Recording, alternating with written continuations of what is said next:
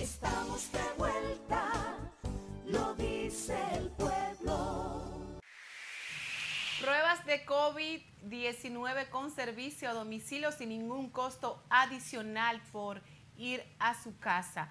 El laboratorio Espinal Domínguez está en la carretera Luperón en Gurabo y también está en Buenos Aires. Pueden llamar al 809 al 829 582 mil. Laboratorio Espinal Domínguez con las diferentes pruebas, pero también la prueba del COVID con servicio a domicilio sin ningún costo adicional. 809-226-3353, teléfono en estudio. Para los mensajes de texto, de voz, llamadas a nuestro WhatsApp, 809-494-5315. Saludos. Saludos, buenas tardes. Sí. Eh, el Departamento de Medio Ambiente funciona aquí en Santiago. ¿Cuál de ellos? Porque el gobierno Medio tiene... ambiente, lo que tiene que ver con movimiento de suelo, mina de arena. Ah, sí, sí, el Ministerio de Medio Ambiente, sí, está aquí, allá arriba, Ministerio de Medio Ambiente. en la autopista Eso Duarte. Porque el río Yaque por la orilla de la Chaca, lo que le queda es una pantalla a la loma que está ahí. Eso hay que mirar por ahí atrás cómo está eso. Eso da pena. Pasen buenas tardes. Gracias por su llamada. Por aquí nos dicen, Corazán está destruyendo a Santiago con tantos hoyos, que paren eso ya. No, también tenemos por aquí nota de voz. Esmeralda, que Dios lo bendiga a los dos, de parte de Hipólito, de aquí del Liceo. No, pero si Corazán está trabajando, yo creo que la, la denuncia no debe ser así, no sé. Yo respeto eso, pero que está, que está destruyendo a Santiago, no, si está trabajando tiene que abrir hoyo, porque Corazán creo que trabaje agua, y el agua no anda por el aire, como es de norte, ¿verdad? La electricidad, hay que abrir. Ahora, lo que se le debe hacer un llamado es que cuando terminen y cumplan el tiempo reglamentario que tiene una conexión cuando usted la pone, entonces vamos a asfaltar, ahí sí. O tú puedes decir, caramba, pero cuántos hoyos ha hecho Corazán y, no- y lo tiene y no lo ha arreglado. Pero decir que está acabando, haciendo muchos hoyos. Tú No, sabes porque- que la gente mucho exagera, pero también entendemos lo que quieren Ahora- decir. Lamentablemente, Corazán tiene una política mala. ahora hay una sequía. y unos hoyos que duran tiempo porque supuestamente deben de esperar. Pero sabemos, no esta gestión, las diferentes sesiones que han pasado por Corazán también lo han hecho. Duran años muchas veces para arreglar a lo que ellos mismos dañaron para hacer un trabajo. Sí, es ha, una realidad. ha habido una deficiencia y Corazán no sé si debe buscar una empresa que, que pueda hacer ese trabajo, o es posible, o ellos tener la capacidad, es cierto. Se hace un arreglo en un barrio cualquiera y eso dura meses. Y una conexión menor, no me diga que debe durar más de una semana para cerrarlo, no jamás. Ahora, si es una tubería mayor, esa sí merece un seguimiento. Eh, Corazán ha sido deficiente desde siempre. Demuestren ahora a Andrés Burgo que se puede.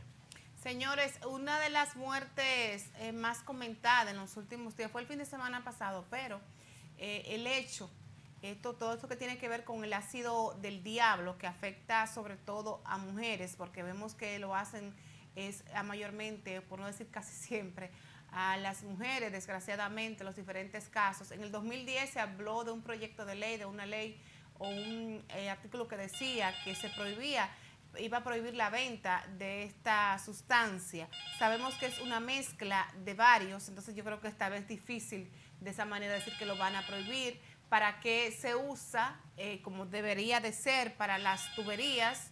Pero sin embargo, aquí lo usan para hacer daño. Esta joven Chaneli Arias en la provincia de Hermanas Mirabal, Salcedo, que sabemos que fue a recibir supuestamente unas flores y fue para tirarle ácido del diablo. Lamentablemente eh, murió, están detrás de los responsables y en el día de hoy dan a conocer eh, que apresaron a dos de los supuestos responsables de este hecho, de esta joven eh, que lamentablemente eh, perdió la vida. Perdió la vida, eh, pero casi todas las mujeres, yo digo todas las que son dañadas con esto, con ácido del diablo, las matan en vida, que es todavía peor, porque muchas veces jamás vuelven a recuperarse, viven una, vi- viven una vida de sufrimiento, de dolor, de frustración, porque casi siempre los que buscan esos desgraciados, tanto los que mandan como los que hacen esto de tirar el ácido del diablo, es que le dañan el rostro a estas eh, mujeres. En este caso, esta joven lamentablemente falleció.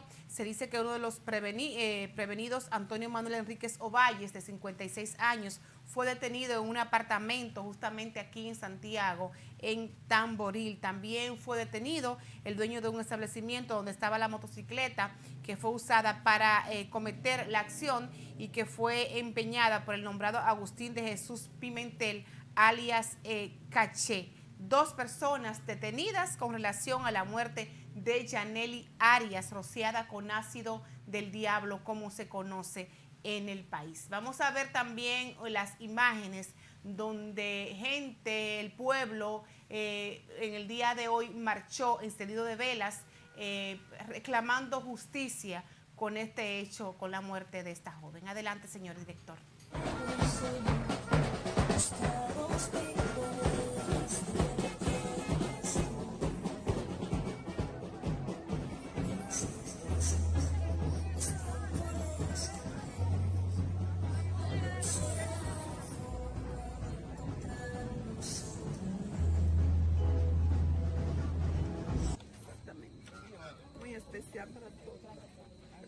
¿Desconocen ustedes como familiares el motivo por qué dicen eso? Apenar. Vi a los compañeros alabando el trabajo que está haciendo la policía. Creo que no es momento de alabar a la policía ni al Ministerio Público. Cuando estén presos los que cometían el hecho, es que se debe alabar el trabajo y se debe alabar el trabajo de la policía. Que para eso que le pagamos los dominicanos pagan Mi familia primero está muy agradecida del apoyo del pueblo dominicano. Es una familia trabajadora que ha dedicado tiempo en Estados Unidos, que han representado dignamente. Quitarnos este ser humano es un dolor incalculable e irreparable. Quiero decirle que las investigaciones van aceleradas. Hoy nos reunimos con el Ministerio Público, han estado, visitaron a la fallecida en el hospital. La policía del DICRIN de aquí ha hecho un trabajo majestuoso. No podemos hablar otra cosa. Queremos ver lo culpable, queremos ver su cara. Ellos, hay un esfuerzo por las autoridades. Pero lo que decía el regidor aquí es procurar que no caigan más mores es procurar que estos que creen haber comprado a las mujeres se resistan a matar a nuestras mujeres. Esta familia nadie la había escuchado en un tema como este. Es una familia trabajadora, su madre destrozada, su padre operado, deja tres niños en la orfandad. Es algo totalmente que debemos meditar cada uno de nosotros. Que esto no pase por pasar, que esto deje una moraleja. No está, señores, lamentablemente. Ella no es la única víctima, son muchos los casos que van en nuestro país y pareciera que aquí solamente se hace allante con unas supuestas leyes. Nos vamos a comerciales, regresamos con más información en breve. Regresamos, lo dice.